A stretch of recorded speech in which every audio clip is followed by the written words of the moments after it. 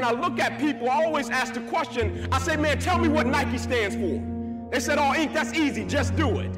I said, tell me what Adidas stands for. Oh, Inky, that's easy, man, impossible is nothing. I said, now tell me what you stand for.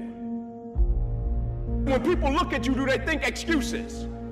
When people look at you, do they think victory? When people look at you, do they think that's a person that's gonna give me everything they got, not on some days, but on every day, and it's not gonna be predicated upon if I feel like it, because I think we all know if we only worked on the days when we felt like it, none of us would get much accomplished. I'm talking about the real level of commitment. Not the commitment that falls in line if everything goes right. I'm speaking of the commitment that says, I am going to stay true to what I said I would do long after the mood that I've set it in his life. See, most people, ladies and gentlemen, are stoppable. Most people, all you have to do is tell them no. All you have to do is make it inconvenient for them. All you have to do is make it difficult for them, and they'll stop.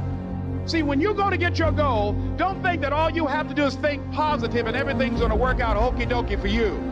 When you go to get your goal, you are sending a telegram to Murphy's Law to visit you personally. You thought you was just gonna have a dream and a goal, and you were just gonna wake up and just walk into the sunset. You're like, dream, boom. It don't work like that. You have a dream, and then life punks you. Life punks you and say, do you really want this? You're gonna lose friends. Do you really want this? Do you really want this? Cousins gonna abandon you. People that you used to be like this with gonna think you bougie don't wanna deal with you. It's a part of it, but I paid too much. If I was gonna quit, I would have quit in the abandoned building when I wanted to commit suicide and take my life. I should have quit when I heard my voice say, your mama don't want you, your daddy don't want you, take your life.